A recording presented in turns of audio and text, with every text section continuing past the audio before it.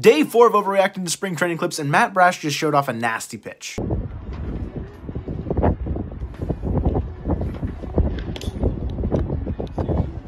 And now this video comes from Ryan Divish, and he said that Crawford didn't even know that that pitch was a slider. We all know how good Matt Brash was in 2022 as a reliever, and in 2023, he might just be the best one on the Seattle Mariners.